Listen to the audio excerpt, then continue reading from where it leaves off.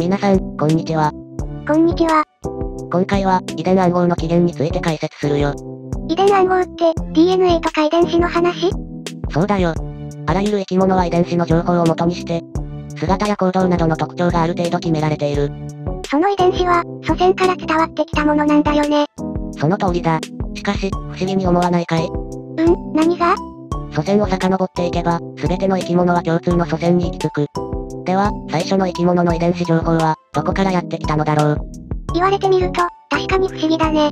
前に聞いた遺伝子の解説だと、よくできてるなって感じだったけど、あんな複雑なものが自然にできるものなの？そう、複雑なのに見事なシステムだ。しかし、自然にできたものだと考えられているよ。なぜなら遺伝暗号には、明らかな法則性と、少しの例外があるからだ。え、法則があるの？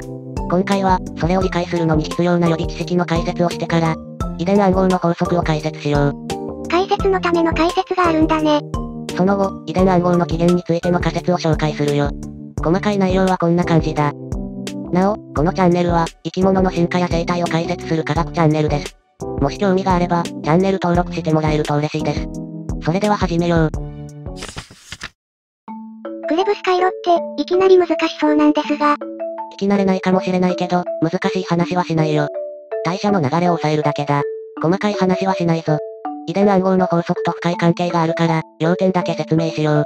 代謝って、エネルギーを同行するやつだよね。そう、私たちは、食べ物をお腹で分解して、その途中でエネルギーを取り出す。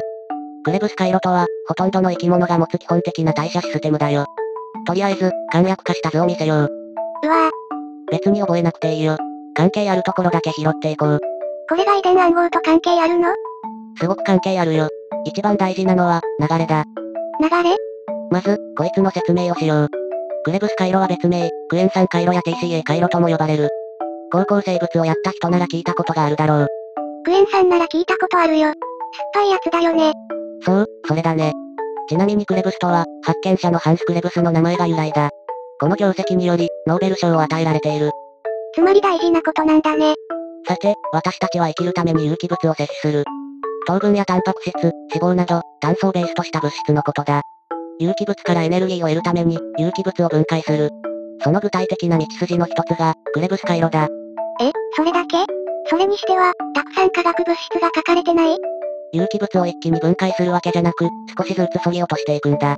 要するに、有機物がどうやって細かくなるのかが書いてあるんだね。そういうことだ。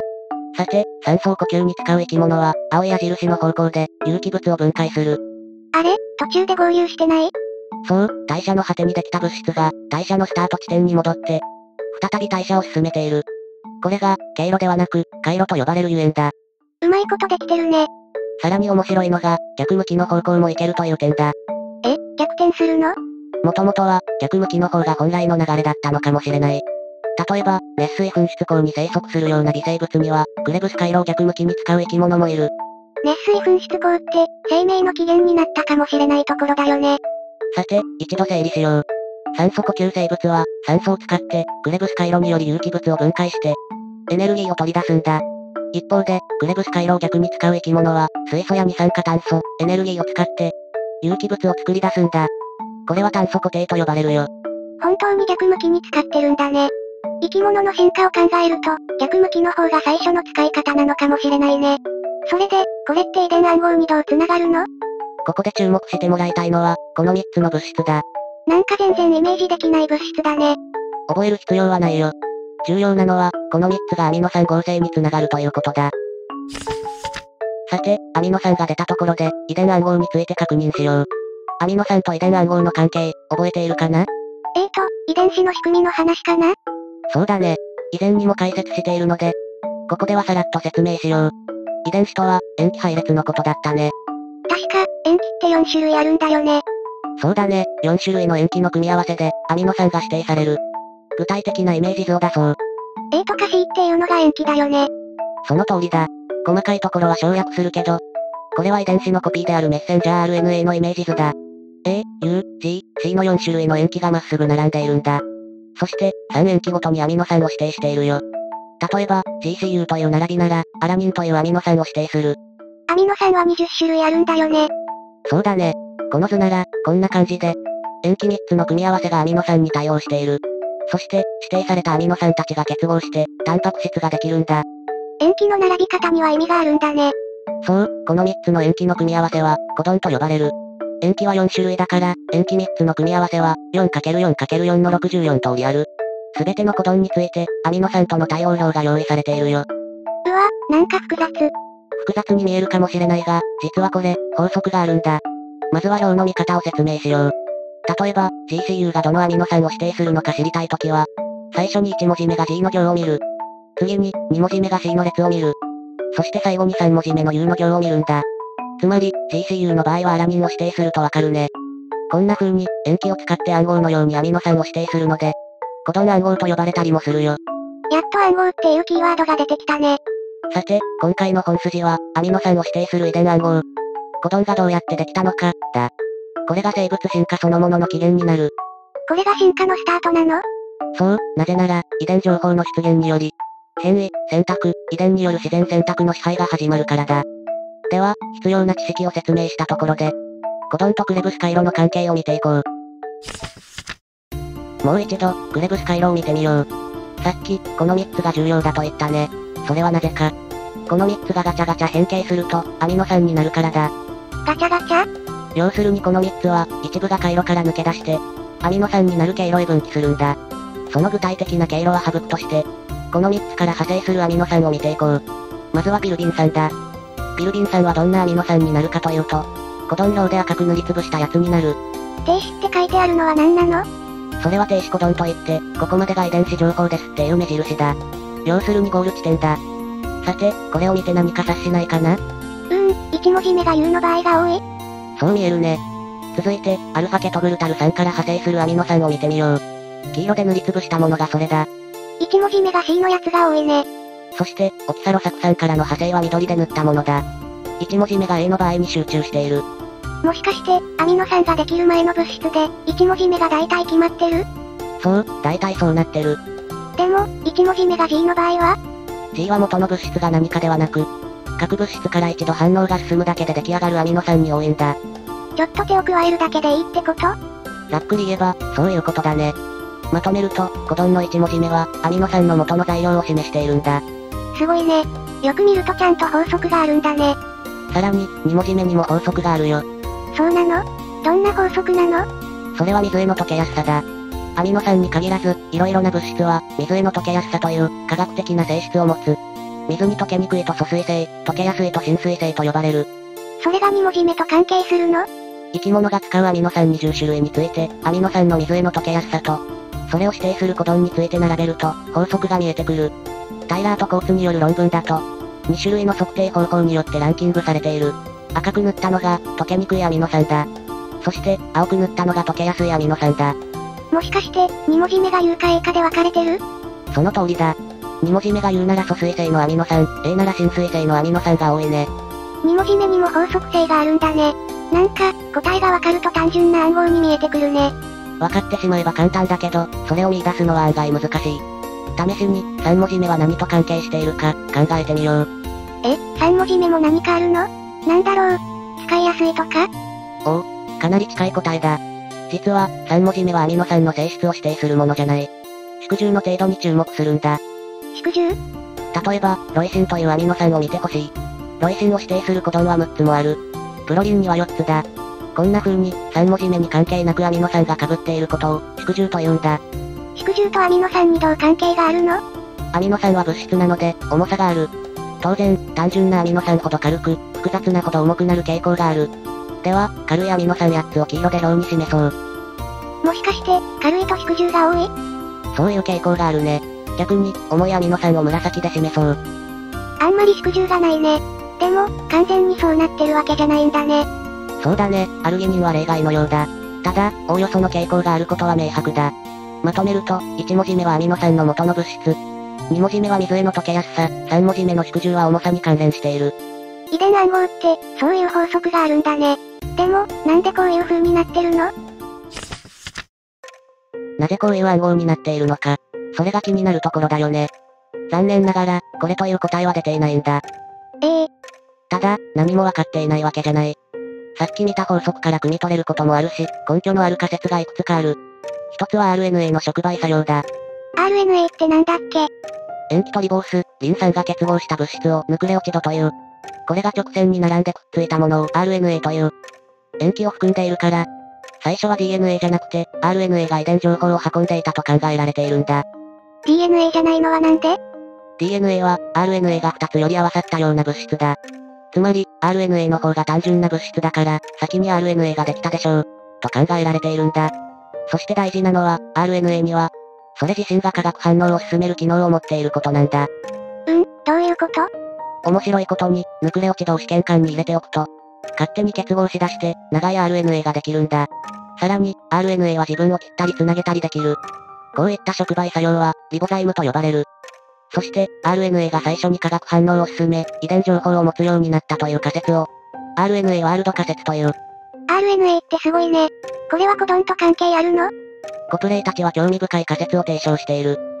RNA は自身が触媒作用を持つんだから、ヌクレオチドが2つだけの短い RNA が、アミノ酸になる手前の物質と反応して、アミノ酸への化学変化を進めたんじゃないかというものだ。どういう方向に変化するかは、ヌクレオチドについてる塩基次第というわけだ。ついてる塩基で化学変化の仕方が変わるなら、ヌクレオチドの塩基の組み合わせと、出来上がるアミノ酸に、対応関係が生まれる。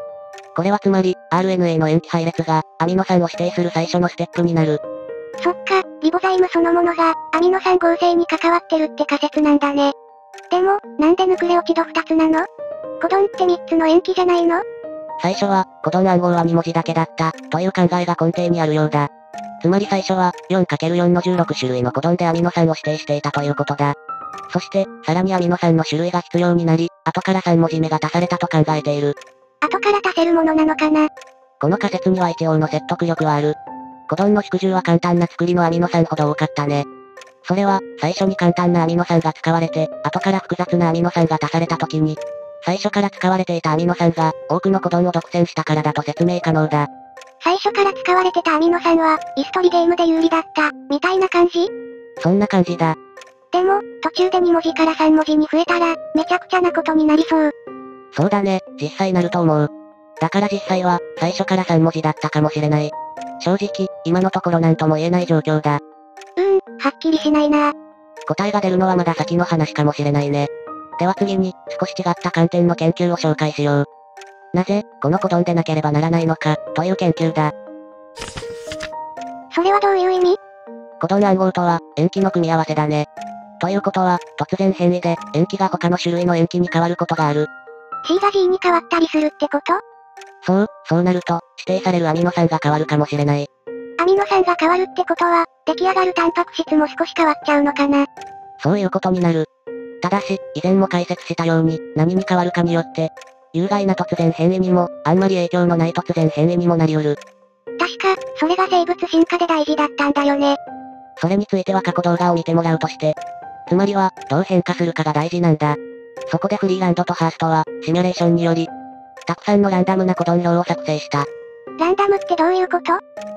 例えば、本来 UUU のところを、AA とか CCC に変えてみるんだ。これをコドン量全体でやって、架空のコドン量を作ってみる。そんなことしてどうするの？コドン量を変えてみたときに、塩基が入れ替わる突然変異が起きたとしよう。例えば一部が A から C になったりね。その時、塩基の変更が、どれだけの影響力を持つのか調べたんだ。さっきも言ったように、塩基が変わると、アミノ酸が変わることがある。だけど、水への溶けやすさなど、アミノ酸には性質がある。変異が起きても、もし性質が似たようなアミノ酸に変わるのなら、変異による影響は比較的小さいはずだ。逆に性質が大きく違えば、突然変異の影響が大きくなる。つまり、これをいろんな架空のコドン量でやることで、最も突然変異の影響を受けないコドン量を探すことができる。じゃあ、いろんな組み合わせを作ってみて、コドンのベストメンバーを探したってこと？そういうことだ。その結果、とても面白いことが分かった。なんと、作ってみた色々なコドンよりも、現実にあるコドンの方が、変異による影響を最小に抑えていることが分かったんだ。本当に？そんなことあるの？そう、生き物が持つコドン量は、思考の暗号だったんだ。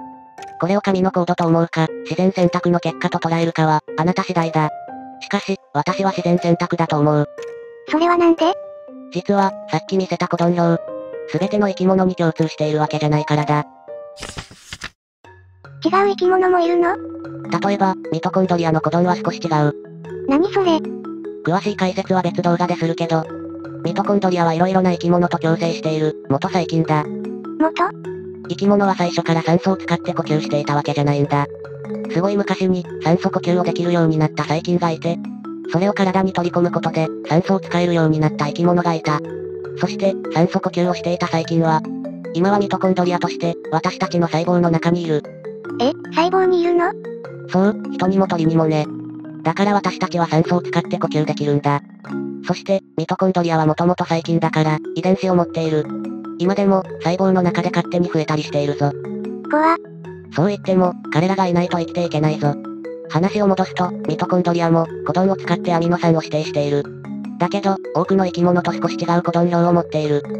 例えば動物のミトコンドリアは、AUA がイソロイシンじゃなくて、メチオニンだ。